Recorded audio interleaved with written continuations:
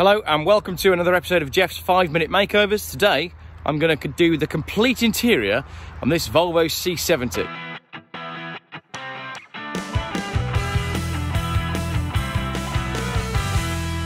I'll show you what we've got so far. I've got the boot open because everything I need is in the boot. So this is the interior of my Volvo C70. And as you can see, it's comfortable but a bit tired. So give me a minute because I'm going to completely restore the whole thing today. Five minutes later. All done. I am exhausted. Check out what I've done with this interior. I've had some custom made floor mats done to match the colour of the car. Don't they look good? And in the back, I've made it more comfortable with the addition of some colour matched cushions. So there we go. Geoff's five minute makeovers. And I've completely and utterly improved the look of the car. Also, look how big the boot is.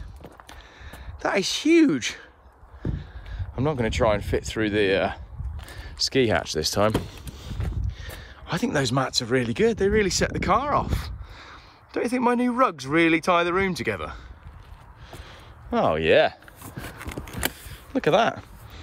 They're definitely not bath mats from the range. Of course not.